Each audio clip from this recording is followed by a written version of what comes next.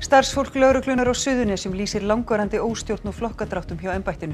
Óanægja hafi verið með óeðlilega ráðningar og kynferðisleg áreitni hafi verið látin óátalin. Víða í Evrópu hefur verið gripið til hertra aðgerða eftir að kórunuveri smittum fór að fjölga nýju. Það bleið að 10.000 létust af völdum COVID-19 í gær en það er mesti fjöldi látina síðan í april. Forsætisráðherra á ekki vona á að allir flokkar styðji tillögur hennar um breytingar á stjórnarskrá þegar hún leggur fram frumvörp á haustþingi. Hún gefur sér tíma fram í september til að fara yfir athugasemdir sem hafa borist. Það er bara eitt orð yfir gamla herrkastalan í Reykjavík, frábær. Þetta segir varstjóri hjá slökkviliði höfuborgarsvæðisins. Kastalinn hefur verið nýttur til æfinga. Það er litla grá og litla hvít. Mjaldrarnir í vestmannegjum gætu innan tíðar fengi félagsskap í Kvína í Klettsvík. Einmanna en þó afar vinalegur mjaldur leitar að félagsskap með framtíðarsamband í huga.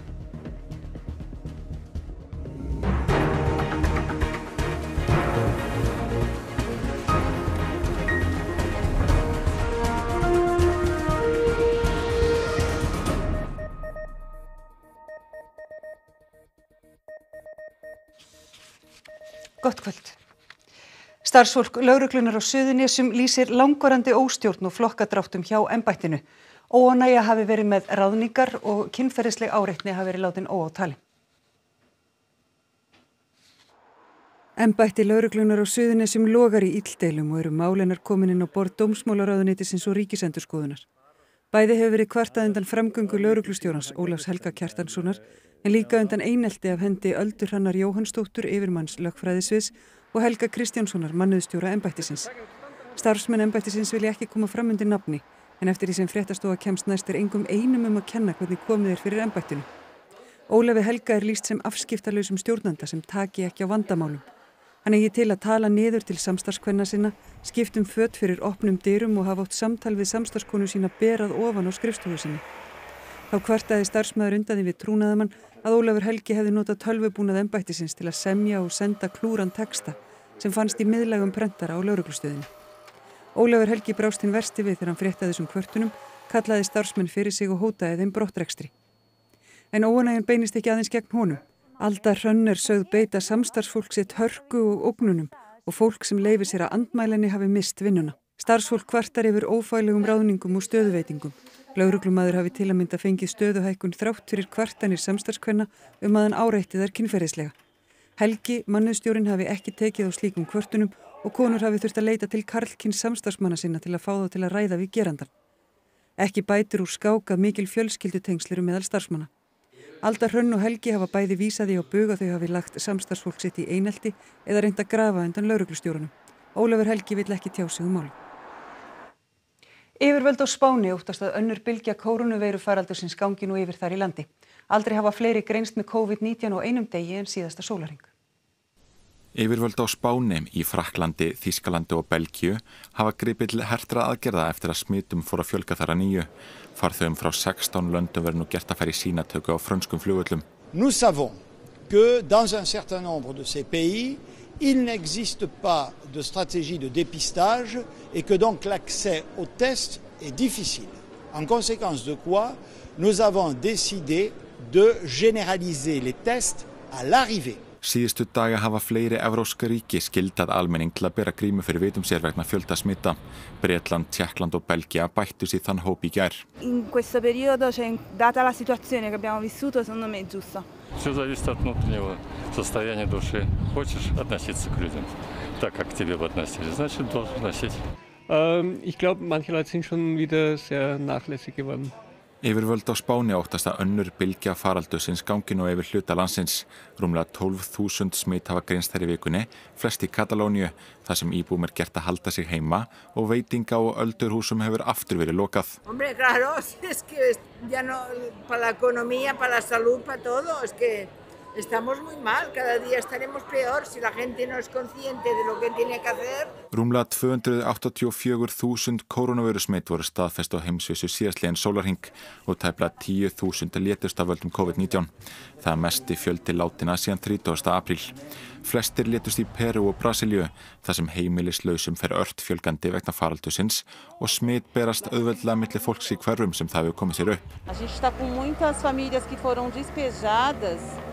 Por conta do coronavírus. Né? São famílias que estão desempregadas e não têm como arcar com seus aluguéis, então foram despejadas. Tem que ficar na rua com meus filhos. Esse é meu maior medo. Eu já tenho um irmão que é morador de rua e é difícil, entendeu? Upprunni tvekja COVID-19 innanlandssmita sem greindust á fimmtudag er enn óljós. Smitrakningu lauk í gerkvöld og á fimmtatugur í sóttkví. Tveir karlmenn, annar á tvítugsaldri og hinn á þrítugsaldri greindust með veiruna eftir að hafa farið í sínatöku vegna einkenna. Þetta eru fyrstu innanlandssmitin sem hafa greinst síðan í byrjun júli. Alls eru nú 11 í einangrun með virk smitt. 108 eru í sóttkví. Vísindatímaritið Journal of Internal Medicine byrti í gær grein eftir starfsfólk Landspítalans og Háskóla Íslands um COVID-19 göngudeildina. Þar kemur fram að göngudeildin hafi skilað miklum árangri, dreigið úr innlögnum á sjúkrahús og mögulega fækkað döðsföllum. Hingaði komið Runolfur Pálsson, þú ert forstuðumæður livlækning og endurhefinga þjónustu Landspítalans og einn af höfundu greinarinnar. Um, Runolfur, hvað stendur upp úr eftir alla þessa vinn? Já, það sem stendur upp úr að mínu mati er hefði mikla framlag uh, okkar frábæra heilbyrðistafsfólks og föðumlaus uh, samvinna hjúkunarfræðingar lækna og annara heilbyrðistafsmanna. Sömulegis líka samstarfið heilsugjæsluna og aðrar heilbyrðistofnarnir út um allt land. En það má ekki gleyma því að það sem skiptir sennilega mestu í viðrögnin við faraldurinn var viðbrað uh, almannavarna og heilbyrðisiðvalda undir digri fórustu sóttartanleiknis sem uh, beindu samfélagsaðgerðum til að hefta útbreyslu veirunar og stöðva faraldurinn með greiðu aðgengja greiningaprófi, einangrun, síktra, uh, smittrakningu og sótkví útsettra. Nú Íslenska erðagreining, aðkomi Íslenska erðagreiningar skiptir líka mjög mjög máli í sambandi við framkvæmd þessar greiningaprófa. Mm. En þessi COVID-deild, er hún bara einstök í heiminum? Uh, Göngudeildin, þetta, þetta fyrirkomulega sem beitt var er, er vel þekkt en ég veit, mér er ekki kunnum um að því að það hefur verið beitt umfangsmiklu mæli í, í viðrækni við farandurinn og þá meina ég símaþjónustu og svo uh, göng og dagdeildar þjónustu fyrir einstakleika með bráð vandamála völdum síningarinnar. Mm. Það var aldrei fleiri greinst með veirun á einum deginn síðasta sólarhingin og, og sum Evrópulönd óttast að, að hins svo kallega önnur bylgja sé hafin. E, þessi reynsla hér kemur hún til með að nýtast einhvers þar annars þegar í heiminum heldur? Já, ég held nú eins að þjóðir geti lært af okkur. Við erum að vísu með kjör aðstæður hér, við erum smá háþróið og með mjög öflugt heilbríðiskerfi en aðra þjóði geta sannlega uh, lært af okkur. Við erum líka í viðbrastöðu auðvitað ef að upp kemur hér uh, önnur bylgja faraldusins. Takk að þið kærlega fyrir kominingað í myndir Raunúlið Takk Forsættisráð þeirra vonast til að leggja fram frumvörpum breytingar og stjórnarskrá og stjórnskipun á haustingi. Hún á ekki vonu á að allir flokkar standi á bakvið tillöguraunar. Rúmlega 200 umsagnir bárust um frumvarpið í samráðskátt stjórnvalda.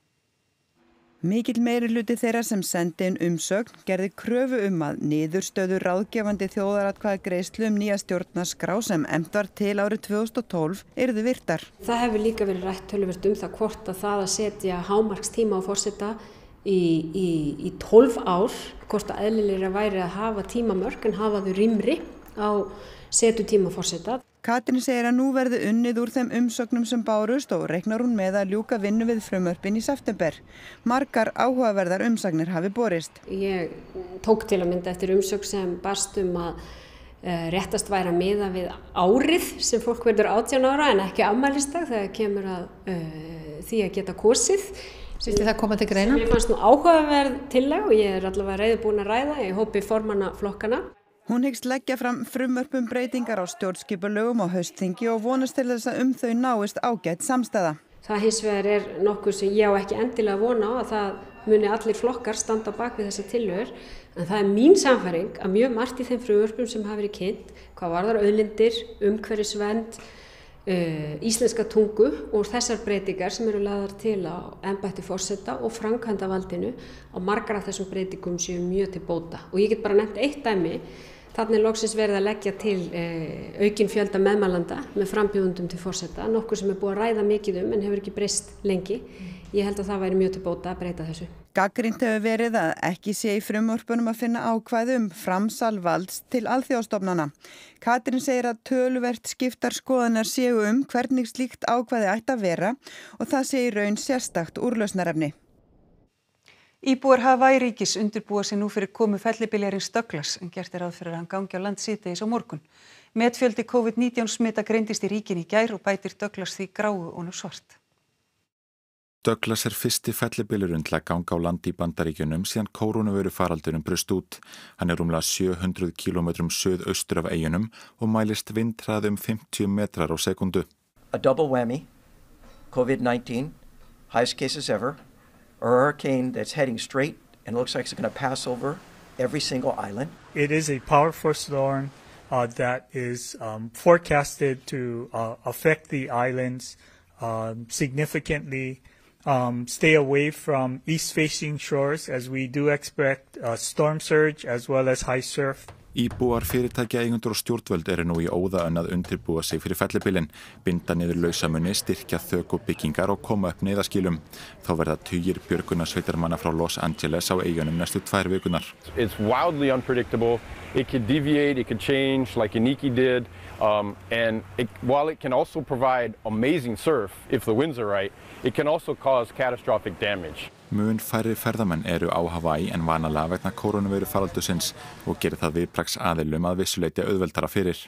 Usually we'd have someone from the tourism authority talking about how we're going to handle the almost 200,000 tourists on, an, on our island and how do we handle them getting to the airport during the onslaught of a hurricane. We have none of that. It's actually made, our, made it easier while the sad part is our economy is devastated. That old saying of when it rains it pours, I mean, you know, we were just wanting to just get a little break. Gert er áfyrir að annar fellibölur sem nefnist Hanna ná í landi í Texas í nótt. Hann er ekki jafn öflugur en þó er búist við úrhellisrigningu og vindstyrk alltaf 30 metrum á sekundu í söðurluta ríkisins. Þúsundur komu saman í Búdapest, höfuborg Ungverjalands í gær til að mótmæla aðför stjórnvaldaða fjölmjölafrelsi í landinu. Aðalriðstjóra mest lesna fréttameðils landsins var sagt upp í vikunni. Það er að brottreksturinn sé raunin undan rivjum stjórnvalda sem vilja hafa afskipti af efnistökum vefjarins. Þrýr að, aðstóðarittstjórar og rúmlega 80 bladamenn vefjarins hafa sagt upp vegna málsins. Utanríkisar á þeirra Ungverjalands hefur vísað ásökununum á bög og sáði stjórnvald ekki geta skipt sér af engareknum fjölmiðlum. Mannréttindasamtökin Human Rights Watch segja hins vegar að þetta sé ekki fyrsti óháði fjölmiðlinn sem stjórnvöld breyta í málgagn fyrir sig síðan Viktor Orbán tók við völdum. Í Dalabyggð er um 70% allra vega malarvegir. Eitt stærsti kaplinn er á klopningsvegi sem dalamenn hafa lengi reynt að fá lagðan bundnu slitlagi en án árangurs. Vegurinn um klopning spannar Skarströnd og Fellströnd í Dalabyggð. Hann er 83 km langur malavegur og er víða í slæmu ástandi. Dalamenn hafa lengi kallað eftir að úr bágu ástandi vegarinn sé bætt. Sveitarstjórin þar segir endurbætur sérstaklega mikilvægar með tilliti til ferðarþjónustu og atvinnustarfsemi. Það skiptir líka máli að til þess að hér bara hinnlega haldist búseta vegna þess að, að samgöngumál eru bara grundvallar fórsenda fyrir búsetu á þessu svæði. Vegagerðin í Búðardal fekk fjármagn til þess að laga um fjórðung vegarins í sömar eða um 20 km. Þá verður þessi kabli vonandi viðnandi en það eru margir svona kablar eftir á þessum vegi sem ekki eru góðir en það er bara ekki meira fjármagn. Bæði Kristján og Sæmundur segja klopningsveg þó ekki eina vandamáli í sveitarfélaginu. Skóarstrandavegur er stoppvegur sem tengir Snæfellsnes og Dali. Hann er lengsti malarkapli stoppvegar á láglendi hér á landi. Og það er verið að taka þar, eða var verið að leggja klæðning á 1,7 km núna í síðustu viku og svo á að fara að byggja upp 1 km í viðbót en það verður ansið sent búið að klára þann veg sem er 49 km með þessum framkvæmda hraða. Samkvæmt uppfærðri samgöngu áallin verður vegurinn ekki allur lagður bundnu slitlagi fyrir en eftir 14 ár. Kristján segir þó jákvætt að hönnun vegarins hafi fæst framar í áallun. Og við bara væntum þess að því, það haldi áfram að þau þar séu menn búin að segja A og haldi svo áfram með, með B og C að að klára veginn og fara í þessa framkvæmdir. Hann undirstrykar að endurbætur á skóarstrandavegi séu sérstaklega mikilvægar ef huga á að aukinni samvinnu eða jafnvel saminningu sveitarfélaga. Þröngt húsasund í Reykjavík var í dag að ákjósanlegum æfingastað slökkvilis höfuborgarsvæðisins. Slökkvilismenn og konur æfðu sig við að bjarga fólki út úr gamla herkastala. Við erum að æfa núna þess að settum á svið að það hefði slasast maður hann að falli millir hæða eina leiðin á hann voru að fara upp og inn um glugga á annara hæð og sækja hann þá og koma hann þar út og, og niður og í sjúkrabíl. Hvernig hendar gamli herrkastalinn til æfinga? Hann er bara eitt orðið við það, hann er bara frábær í það. Það virðist nú ekki verið neitt mjög svona mikið aðtapnarími hérna. Nei, það er kosturinn við það, það er þröngt og við þurfum að, menn þurfum að hugsa hvernig ætla að koma takjum að búna það að til þess að geta leist verkefnin. Er þið búin að læra eitthvað á þessu? Já, já, þetta skilur alltaf eitthvað eftir og svo þegar menn lenda í einhverjum tilföllum í framtíminn þá poppar upp er við gerum þetta svona á æfingunni, bróðum þetta og þannig þetta skilur alltaf eitthvað eftir. Það er alveg óþarfi að þramma ólundarlegur niður laugavegin því það er hægt að komast vísna langt á danssporum. Göngugutu hluti laugavegarins breyttist hann í dansgutu þegar Bollywood-dansarar Kramhúsins og nefendur lefðu fínlegum handarhefingum og mjadmannhekkjum að njóta sín í dag. Fjölbreyttur og framandi matur frá hennum ýmsu löndum var í forgrunni á túnunum við Vesturbæðilög að óglemdri tónlistinni.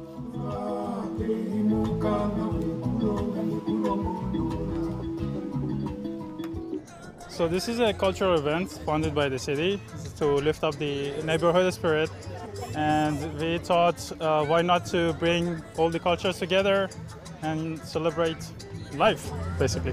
En á sama tíma erum við að sapna framlögum fyrir tvö samtök, það er Ariana samtökin og Íslenska barnahjálpin Kenya megin. Do you know how many nations are represented here? Uh, we have five countries, uh, Iran, Afghanistan, Kenya, Philippines and Syria.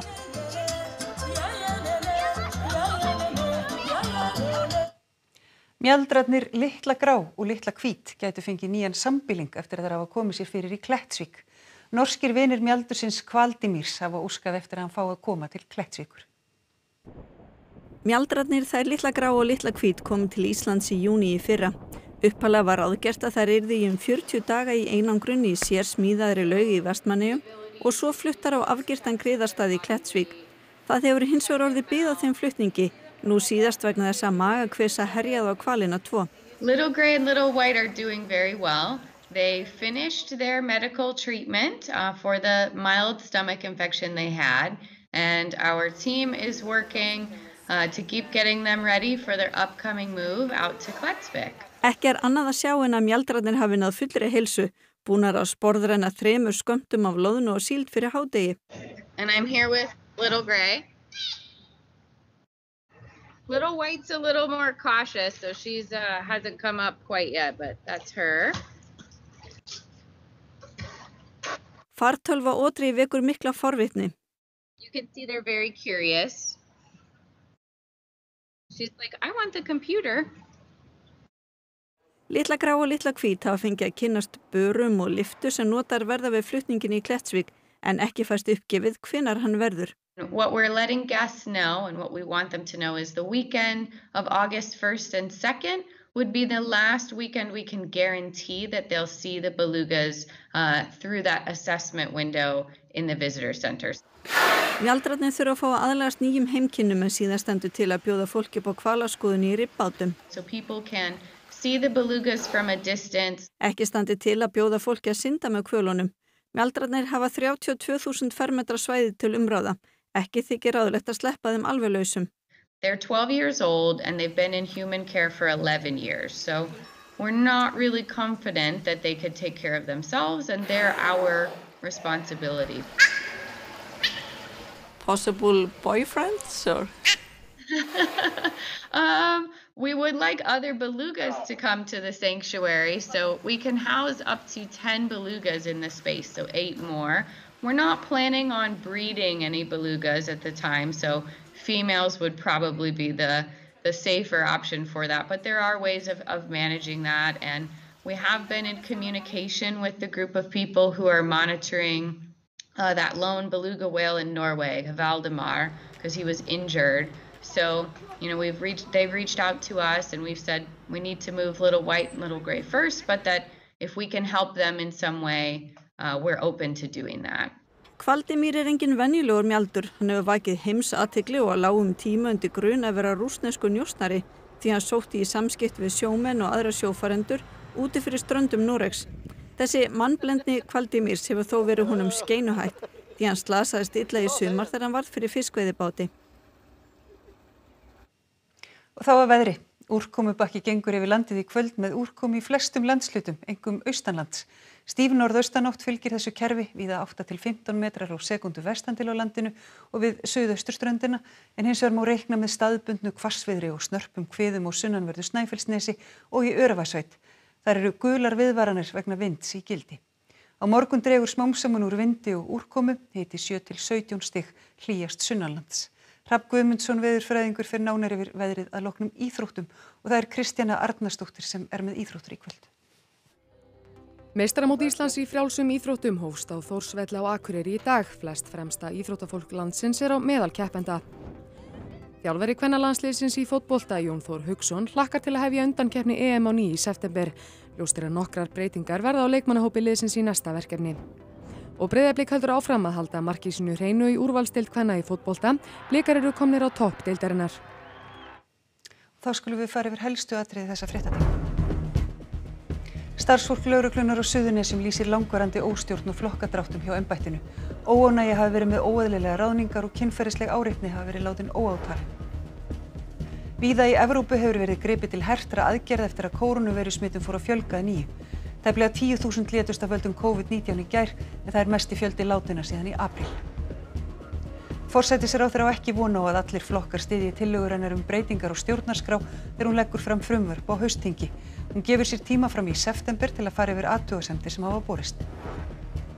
Það er bara eitt orð yfir gamla herrkastalan í Reykjavík, frábær.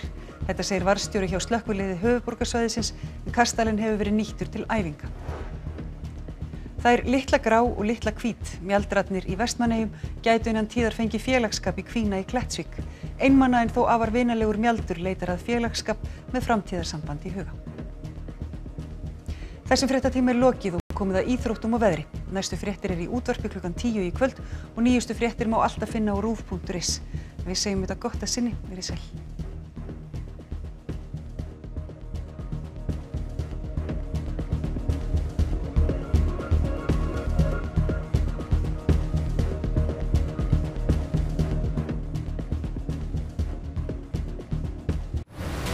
Við ætlum að rifja upp sögu ólimpíuleikana á Rúfi sumar.